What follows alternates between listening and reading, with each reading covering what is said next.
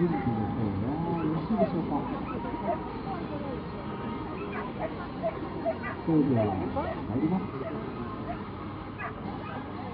三、二、一、スタート。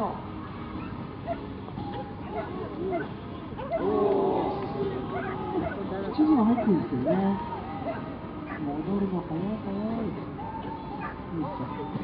一人スタートは1ポイント取りましたどっちどっちダメダメダメダメダメ今持って帰ったから1ポイント1ポイント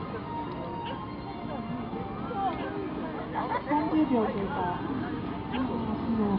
えー、ディスク大好き。パパはちゃんとディスクに投げて。パパはディスクちゃんと投げてねって自分で書いてるんですよ、これね。投げてね投げた取れるあーもうちょっと手がなければな、残るかな。あー、でも近いですね。五秒前。